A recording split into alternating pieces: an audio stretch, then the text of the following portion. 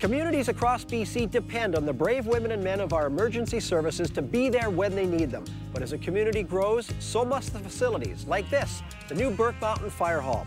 Thanks to players at the Hard Rock Casino, the City of Coquitlam used its share of provincial gaming revenues to build this state-of-the-art fire hall. So this community of Burke Mountain is the fastest growing community in Coquitlam, and obviously the fire hall is an important part that uh, facilitates that kind of growth. Now this hall was built as a post-disaster building, which means that in the event of an earthquake or other disaster, the residents will have a place to congregate. Now, Coquitlam is host city to the Hard Rock Casino, and that host agreement brings with it a good funding source for the kinds of needs that a growing community like ours has.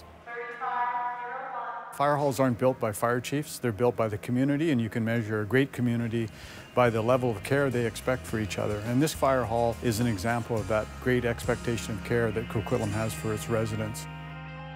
Watch Global to learn more about what's going on in your community.